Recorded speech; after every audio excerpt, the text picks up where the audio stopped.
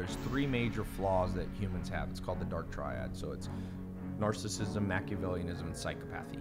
Psychopathy is what we're dealing. So here's what psychopath means.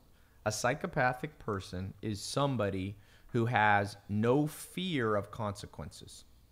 So 80% of Navy SEALs are psychopaths. A lot of police officers, much higher than the regular part. That's why they take the job because they don't fear much. So they go. So there's good psychopaths and bad psychopaths.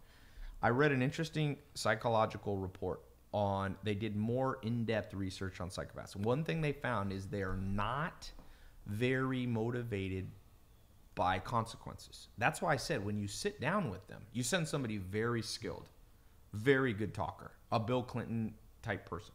And you sit down and you don't threaten them. You don't say, We're going to kill you. It doesn't work. They don't think it's going to happen. Psychopaths always think they'll get. Psychopaths who go to prison are always surprised.